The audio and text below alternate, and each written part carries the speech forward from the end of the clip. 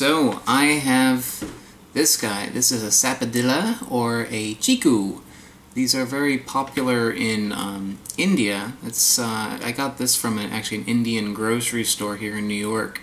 But uh, I went I went through India uh, maybe about a year ago or so, and they were everywhere. You know, they're they're very common there. Um, fruit vendors will say sell them like by the basketful on the on the side of the road. A lot of market stands will have them. Uh, what I like about this fruit is that it comes with a disclaimer. When I bought this at the market uh, and I went to the cashier to, to check it out, the guy was like, Do you know how to eat that? Because these are actually very dangerous. it's another dangerous fruit that uh, not so good for you if uh, you don't know what you're doing. If you eat these before they're uh, perfectly ripe, they will dry out your mouth, they taste awful, and uh, it's not good for you to eat it. Uh, also, uh, I'll show you in a little bit, but it also has another kind of like defense mechanism to it. But um, these are uh, related to the, the sapote. They're, they're similar to the mamey sapote, but they're a little bit smaller, as you can see. Um, actually, quite a bit smaller. Yeah. See that in there. Inside here there are little seeds. And another thing that makes these very dangerous, let me see if I can find one in here. Huh, this one actually, I don't think this one has any seeds in it. That's interesting. Uh, let me open up this one just to see. Ooh, yeah, I don't think this one's good. It's hard to cut into.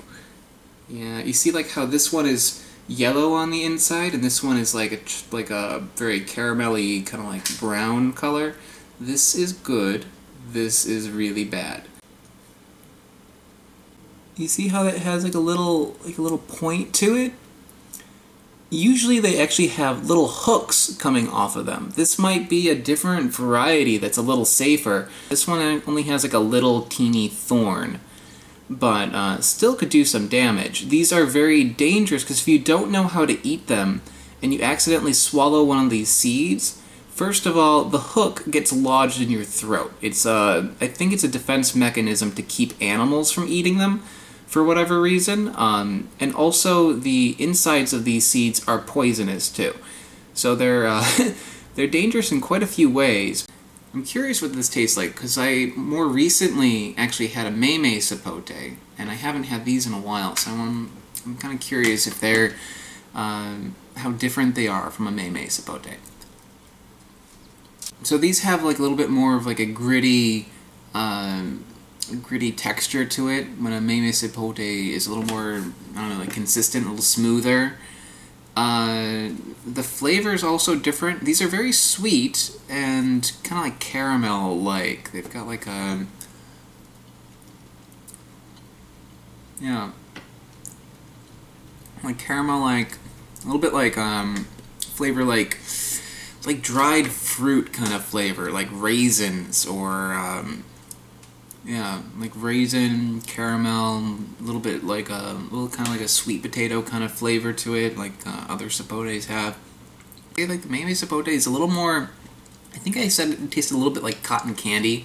It's got got like a like a sugar kind of taste to it. These don't really have that exactly. I mean, they're sweet, but they're sweet more the way like a pudding is sweet, rather than how a um, rather than just like straight up like burnt sugar the way that uh, sapotes have that flavor. Alright, I'm gonna do it anyway. Okay, I'm gonna, I'm gonna try just a little piece of this just to, to see if it is, uh, by any chance, still okay.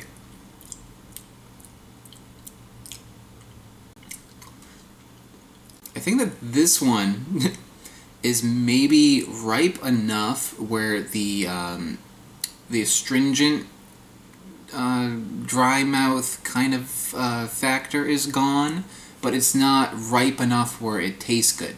Because it's just, it, this just tastes like mush. It doesn't taste like uh, anything really. If you open it up and it looks like that, don't eat it. It's probably going to give you dry mouth, or at the very least, it's not going to taste very good. And if you see these little um, black seeds in there, which I've now found that you may or may not get, uh, don't eat those. They usually have little hooks on the end and will get caught in your throat.